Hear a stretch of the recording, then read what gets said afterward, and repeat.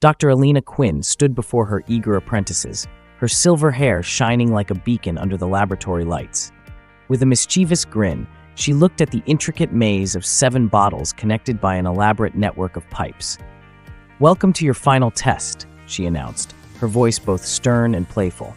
Seven bottles, one water source, and the ever reliable force of gravity.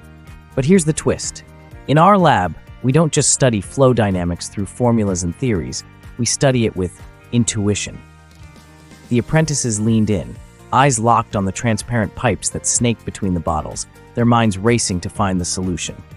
Dr. Quinn's smile grew as she continued. In your careers, you'll face challenges where resources, money, time, energy must be distributed efficiently. And let me tell you, the most obvious solution is rarely the right one. This puzzle, it's a perfect example. She casually reached for the water valve, her hand hovering with dramatic flair. Only one person in the last decade solved this on their first try, she said, pausing for effect.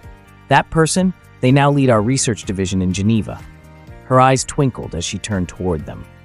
So, before I open this valve, I'll leave you with a question. Which bottle will fill first? The room fell silent, every apprentice lost in thought. Choose wisely, Dr. Shao. Quinn added with a wink. Your future might just depend on it. Now, I'm passing this same challenge to you.